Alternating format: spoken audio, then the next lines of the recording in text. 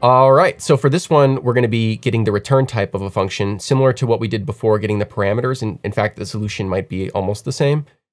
We're gonna implement this return type function, but it's already provided by TypeScript. It's a generic that you get out of the box in like one of the built-ins. So just looking at the example here, we have a function that takes in a Boolean and returns one or two, depending on whether the Boolean is true. So the return type of this function is the union of one and two. Let's take the challenge. So, all right, here we go. Complex objects. So, all right, that's some complex object. And we see we have all of our errors. So let's go through them real quick. So fn is a function that takes a Boolean as an argument. And oh, this is exactly the same one we were just looking at before. And fn1 takes a Boolean. And also the second thing it takes is an any, some w argument that's not used, I guess. Um, okay, so we're trying to see here if these things are equal. String and the return type of a function that returns string, fine, one, two, three, a function that returns one, two, three, complex object, a thing that returns it. So we see we have a pattern here, uh, promise uh, resolving to a Boolean.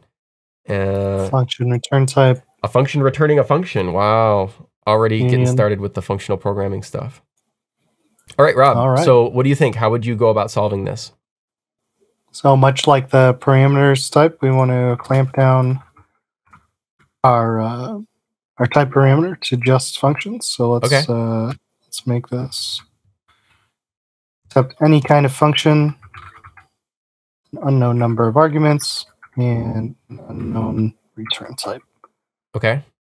So um, I'll break this onto a new line. Cool. Right. So now if we say uh, we're we're going to use the conditional types again. So if we do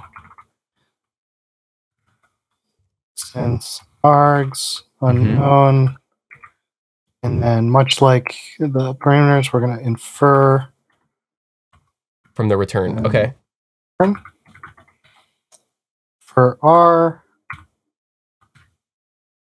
and return r if that matches, and never if it does not. Sweet. I'll format them for us here. Okay. Great. Interesting. So here. Uh huh. Returns. So we get an error. Um, type of function. Uh, this guy is an is a union returning one or two. Right. All right. All right. So what do you think? So it does not satisfy the constraint args unknown. Mm-hmm. It's unknown. So right, unknown because is not simultaneous. Boolean. Let's go up to function. It takes yeah. So I, I think this has to be yes. any here. Yes. This is one situation where it has to be any. Um, and yep, now we're all passing.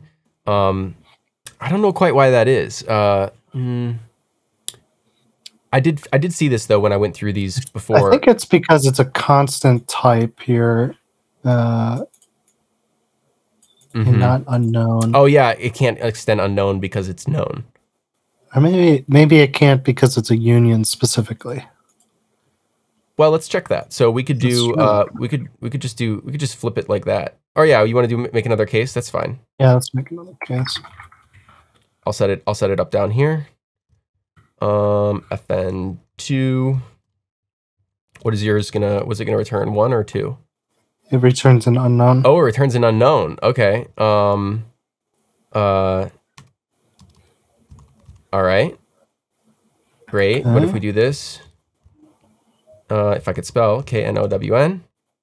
Yep. Still, still doesn't work. Ah, well, the arguments are not unknown here.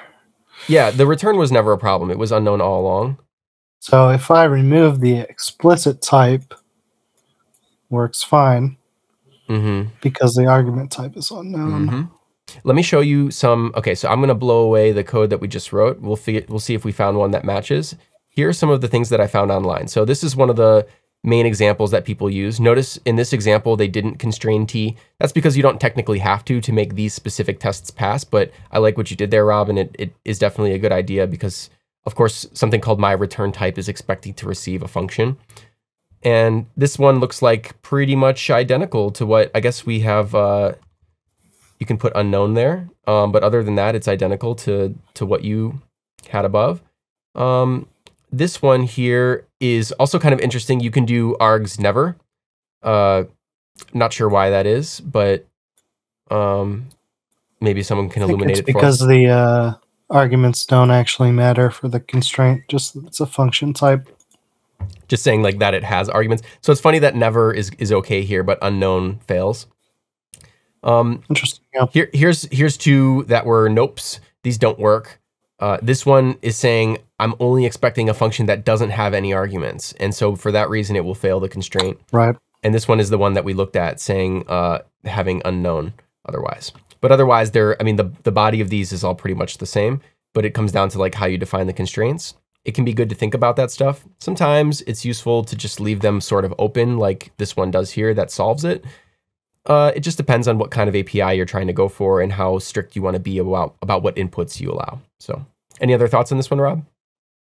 Yeah, the constraints can be pretty useful too when you want to control where the compiler is going to error. Mm, where if you yeah. wanted to compile to compile in one place but not another. Definitely. Yep. Awesome. Cool. All right.